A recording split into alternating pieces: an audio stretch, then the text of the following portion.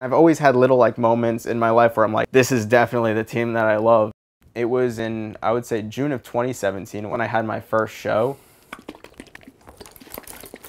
That's when I first started saying to myself, I want to take this to another level. I want to start bringing things that I really love into this. I love the Islanders. I could bring my personal lifestyle into the Islanders and vice versa. It's just a great feeling. It, makes me feel really good.